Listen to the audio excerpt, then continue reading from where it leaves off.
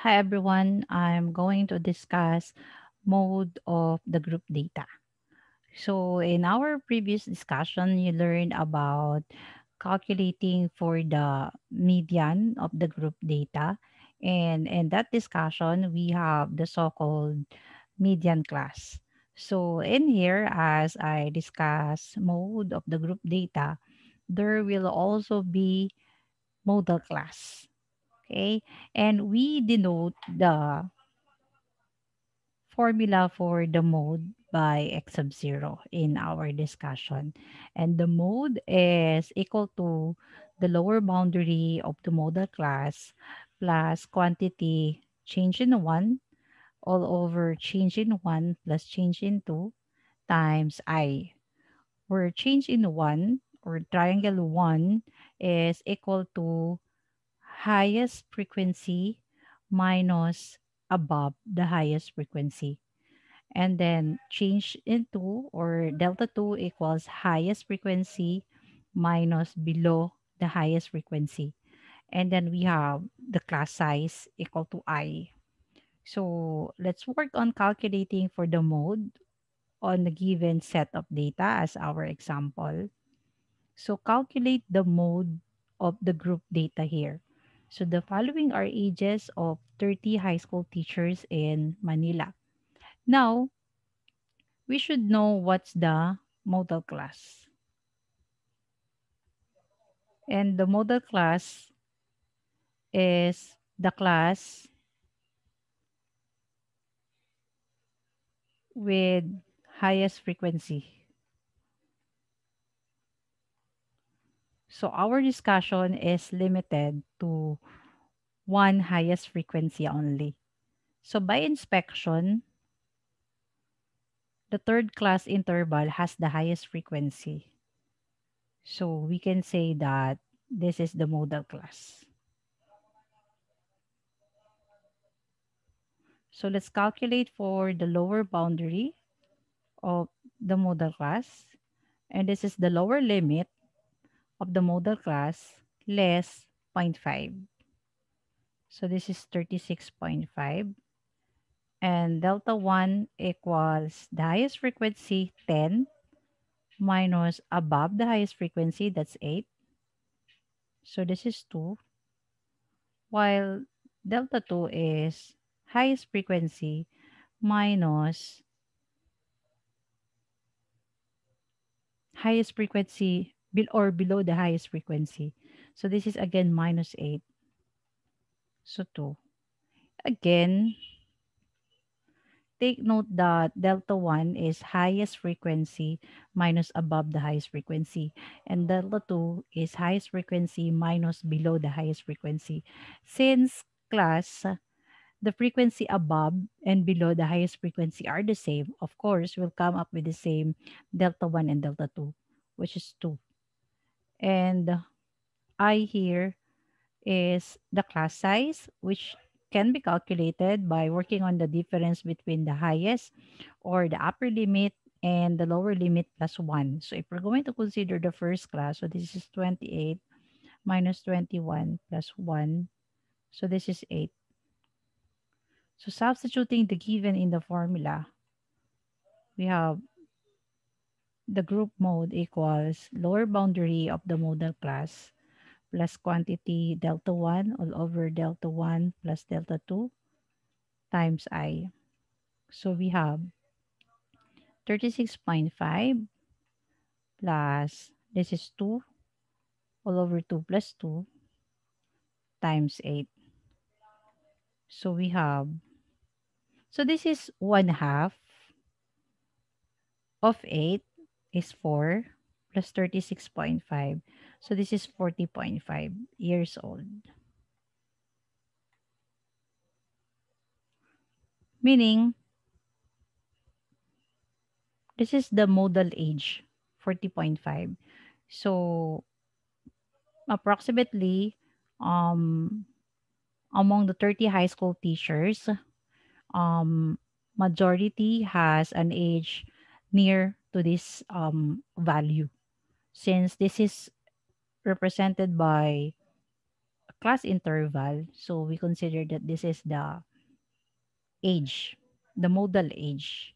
Now, 40.5, if you notice class, is within the interval 37 to 44 because this interval has the highest class frequency. And if you notice that we have made use of this example in calculating for the group mean and the group mode, and we were able to calculate the group mean equal to 40.5,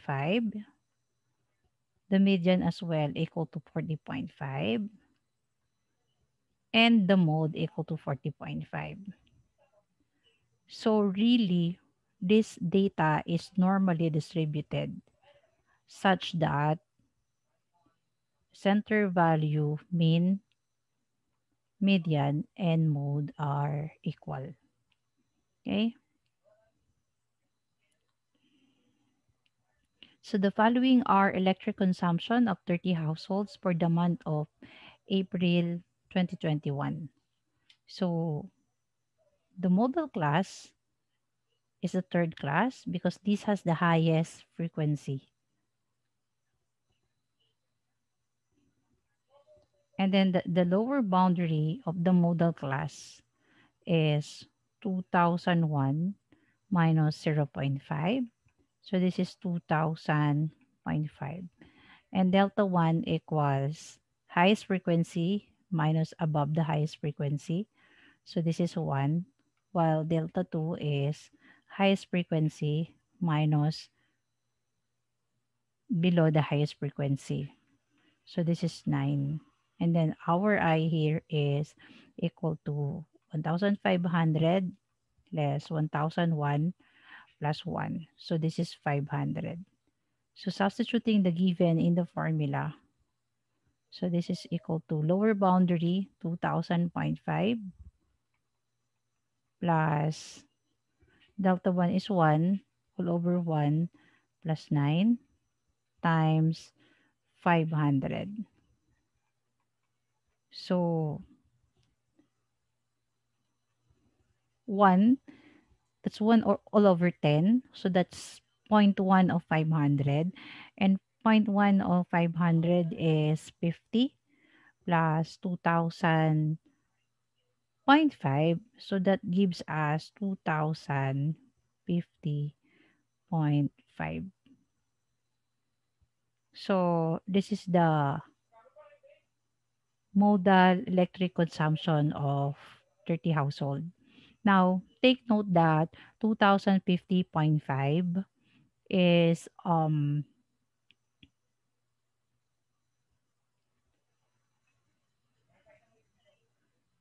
in between the first and the second class interval.